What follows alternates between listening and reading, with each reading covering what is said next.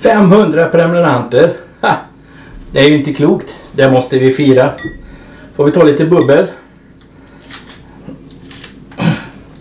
Ja, det trodde jag ju aldrig när jag startade den här lilla kanalen. Jag tänkte här ska jag göra lite lite eh, fina videos med några vyer utifrån skogen och lite på fjället och lite matlagning. Trodde ju aldrig att det skulle bli så här stort. Där satt den. Puff! Så där kan det gå.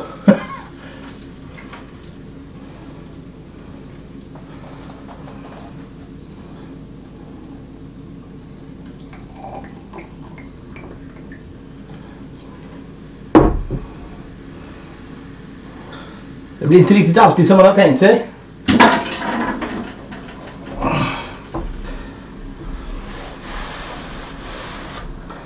Så. Det var bara för jag hade datorn här och man var tvungen att vara lite försiktig. Så gick det åt pipsvängen. Så. Skål på er och tack för allt stöd. Jätteroligt. Ja, grattis till mig då. 500.